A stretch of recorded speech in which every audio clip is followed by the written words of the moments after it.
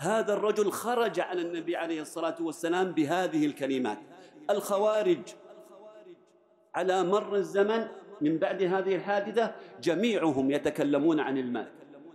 جميعهم يذكرون أمام الناس ويهيجون الناس على الأمور التي تحصل في بعض الدول مما يتعلق إما من ظلم في أمور الدنيا أو غيرها فيحركون الناس. على ما ينظرون إليه وربما لا يكون هذا ظلما وربما يكون ما ما حصل هو العدل. ولذلك بعض الناس لا يفرق بين العدل والمساواة. النبي عليه الصلاة والسلام عندما جاءه ذو الخويصرة التميمي عندما جاءه ذو الخويصرة التميمي والنبي عليه الصلاة والسلام كان يقسم قسما لصحابته رضي الله عنه عندما جاءته الغنائم فأخذ النبي عليه الصلاة والسلام يقسم قسما. جاءه رجل يقال له ذو الخويصر التميمي فقال للنبي عليه الصلاة والسلام اعدل يا محمد.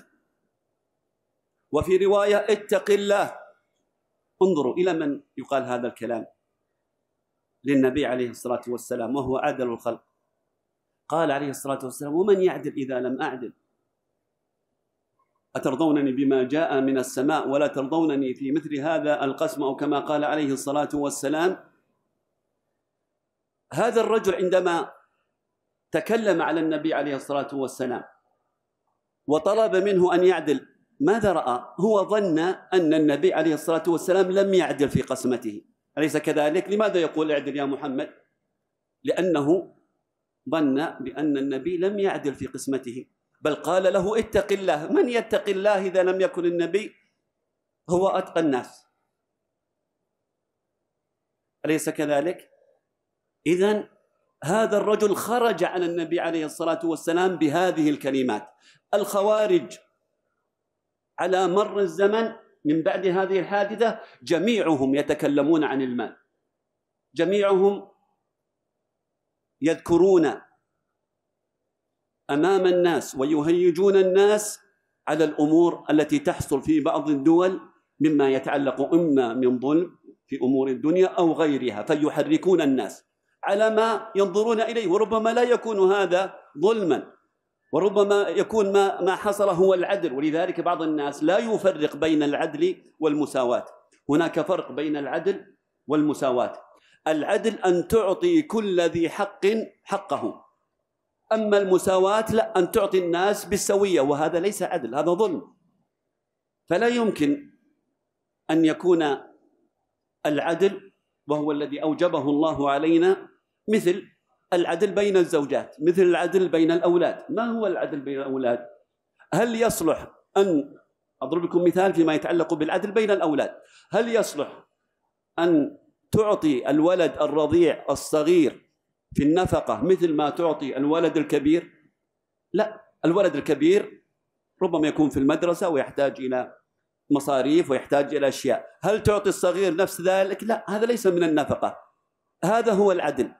لكن المساواة أن تعطي مثلا إذا أعطيت ولدك الكبير وهو في الثانوي تعطي من؟ الولد الصغير. هذا لا يصلح. أيضا لو نظرنا في هذا الأمر فيما يتعلق بالوظيفة والعمل. الموظف المجتهد الذي يبذل جهد في عمله ويتقن عمله ويخلص في عمله هل تساويه أو بشخص مثلا مهمل هذا تعطيه مكافأة وهذا تعطيه مكافأة؟ لا يمكن. هذا هذا يسمى مساواة. لكن العدل أن تعطي وتكافئ من؟ المخلص في عمله. أما المسيء لا هذا لا, لا فهذا المقصود. ولذلك بعض بعض ما يظهر في عند هذه الجماعات ما يتعلق بهذه العبارة يقول مساواة. المساواة هذا لا يمكن أن يكون هناك مساواة. الإسلام أمرنا بالعدل بالعدل والعدل لا يقتضي المساواة وهذا أمر مهم. لذلك هذا الرجل الذي خرج على النبي عليه الصلاة والسلام قال للنبي اعدل يا محمد اتق الله. فقال النبي عليه الصلاة والسلام ومن يعدل إذا لم أعدل ثم قال ووصف حال هذا الرجل قال يخرج من ضئض هذا أناس تحقرون صلاتكم عند صلاتهم وصيامكم عند صيامهم يقرؤون القرآن لا يجاوز حناجرهم يمرقون من الدين كما يمرق السهم من الرمية. ثم قال عليه الصلاة والسلام لئن أدركتهم هؤلاء لأقتلنهم قتل عاد. ثم قال يقتلون أهل الإسلام ويدعون أهل الأوثان. هذه صفاتهم وصفهم. النبي عليه الصلاة والسلام وصفا دقيقا. فهؤلاء هم الخوارج الذين خرجوا في عهد الصحابة رضي الله عنهم ثم أيضا خرجوا في القرون بعد ذلك حتى هذا الوقت. فهذه صفاتهم يقتلون أهل الإسلام ويدعون الأوثان. بل إن خوارج هذا الزمن هم أقل ديانة من الخوارج في السابق. وصفهم وكان في عهد النبي عليه الصلاة والسلام وما ذكره عن حالهم. لما خرجوا قال تحقرون صلاتكم عند صلاتهم وصيامكم عند صيامهم. الصحابة عندما ذكروا هؤلاء كانوا عندهم العبادة والتهجد لكنهم خرجوا على صحابة النبي عليه الصلاة والسلام. خرجوا على الصحابة رضي الله عنهم.